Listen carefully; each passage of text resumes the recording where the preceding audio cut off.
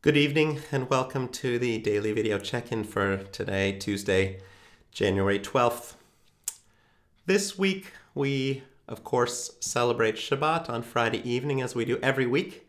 And it's always a special celebra- celebration. Shabbat is a, a beautiful day and we're lucky to have such a special holiday each and every week. But we also use the occasion for Shabbat to sometimes point out and highlight other special events, other special days that happen in our lives and in our world. And sometimes that might be Hanukkah or a special Shabbat, Shabbat Shuvah coming up. We will have Shabbat Shirah, the Shabbat of Song, in just a few weeks.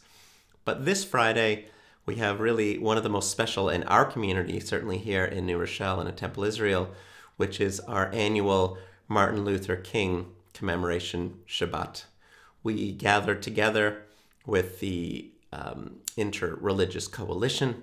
They just merged, and so I had to remember exactly what their new name is. Uh, but with the Interreligious Coalition and with local church groups and combined with the Temple Israel community to, to celebrate uh, Dr. Martin Luther King's life and his legacy, to honor him, to commemorate everything he was able to achieve, and to remind us how much more work there is to do uh, as well. And that might be especially true given everything our country is going through right now. But uh, it's always one of my favorite services, and certainly this year and this time of COVID, it will be different than in previous years, but I hope very special nonetheless.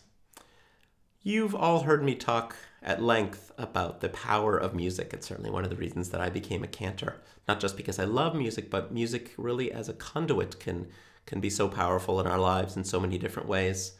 We have special songs in Judaism, Maoz Tzur for Hanukkah, and um, you know, Kol Nidre on Yom Kippur, or maybe Avinu Malkeinu, that are so powerful and so tied to special days and times of our lives. And Martin Luther King Day is is no exception. There's such beautiful music that's appropriate that we sing uh, that recognizes the power and enhances the power of that day. And uh, that's probably true no more for any song as, as much as it is for We Shall Overcome. It's a powerful and hopeful message. It's an, it's an old song and actually was originally written uh, in 1901. It's sometimes attributed to Pete Seeger, and sometimes you might see three or four or five songwriters listed on one page. But the original version, and a little different version than we know it today, was um, written by Charles Albert Tindley, uh, who was a Methodist minister, and he wrote this original version, I'll Overcome Someday, in 1901.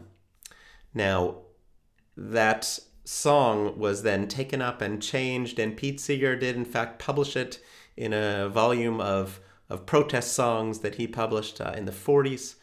And uh, it's been used as a protest song, a song of community, a song of hope, certainly through the civil rights era as well. Uh, Dr. King, in particular, actually quoted the words of this hymn in his final sermon just four days before he was assassinated, saying, Oh, deep in my heart, I do believe we shall overcome someday. So I look forward to sharing this music with all of you on this Friday as we celebrate and observe our Martin Luther King Shabbat. And uh, I'll give you just a little taste today to to prepare us this week. So I hope to see you all Friday night. Our service is at 7 p.m. You can find out more information on the temple's website. But uh, in the meantime, I'll leave you with just a little taste of We Shall Overcome.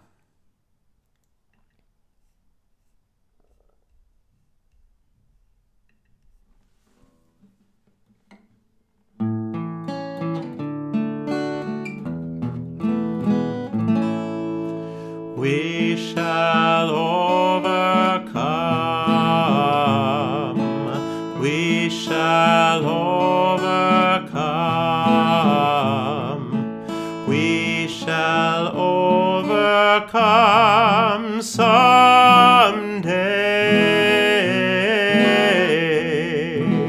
Oh, deep in my heart, I do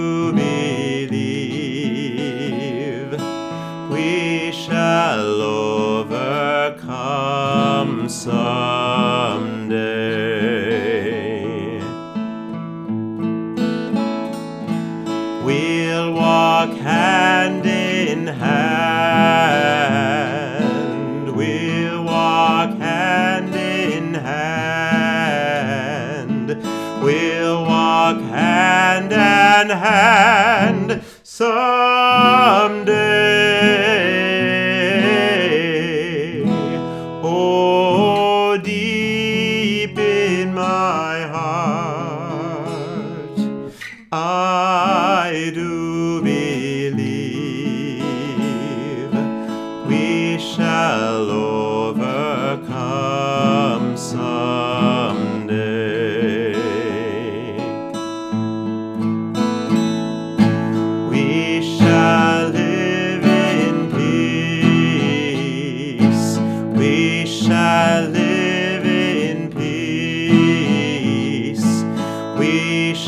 live in peace someday.